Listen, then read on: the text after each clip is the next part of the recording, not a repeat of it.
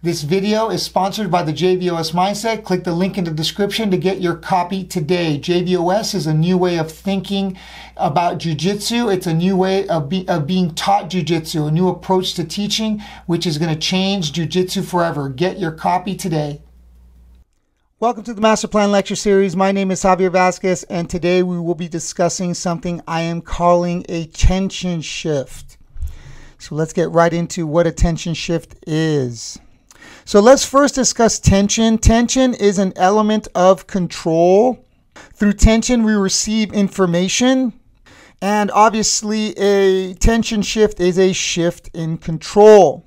Now, what does that mean? That means that a tension shift is a transfer of who is generating and guiding the tension. So basically, who's in control, right? So whenever you're sparring, somebody's generally in control.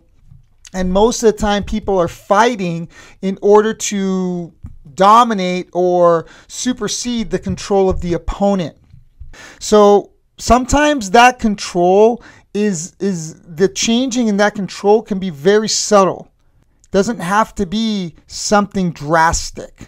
Of course, a tension shift can occur with the positional change. This is a drastic change. Say if you're on the bottom, you sweep the person, you get on top. That is a drastic change, a positional change.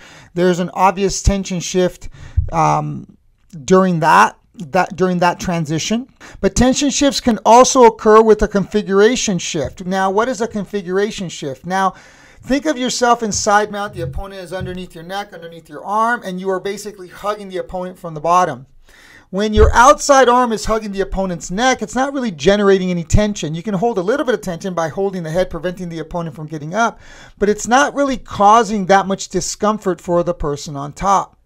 A configuration shift, say for example, you transfer your arm from being around their head to in front of their face, and now you're framing on the magical spot. That's a configuration shift, and during that configuration shift, the whole the whole momentum of the position shifts and that I would consider to be a tension shift. Now the person on the bottom is the one that's generating the tension and control rather than the person on the top.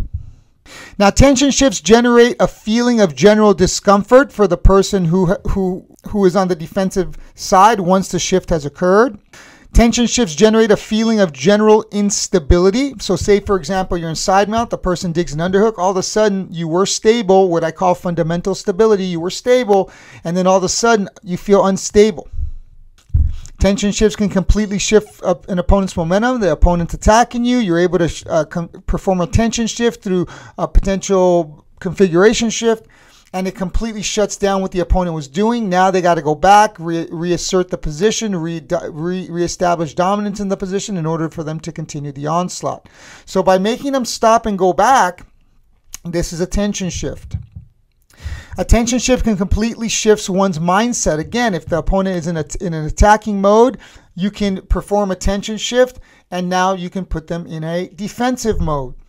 And finally, uh, tension shifts could result in psychological acceptance. Now, what does this mean? Now, what this means is very simple. Say, for example, you dig an underhook from the bottom of the side mount and you're using good tension to, to, to control the opponent with the side mount, slowly prying your way out from the bottom.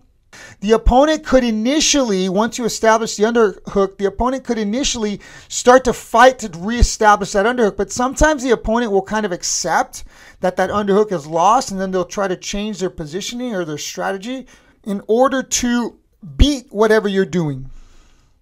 Now, psychological acceptance means hey, I accept that they have the underhook and I have to do something else. Digging the underhook from this angle, from this position, from this situation isn't going to work. They've kind of won the battle. I consider this a psychological acceptance.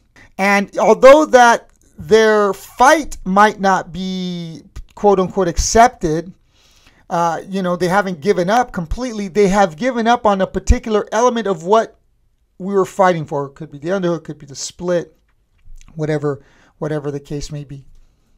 So I know that the things that I am covering, the subjects that I'm covering in this lecture series are quite unique. They're very deep, and I want to do it this way. I, I the information is coming to me, so I'm very comfortable trying to explain it. These things are real, and I definitely want to hear your feedback. If you like my content, go click like and subscribe down below. If you have a question or a comment about the subjects that I'm covering, go ahead and leave them in the comments. I will read through the comments and answer your questions. And I hope that you enjoy my content. I will see you all again real soon.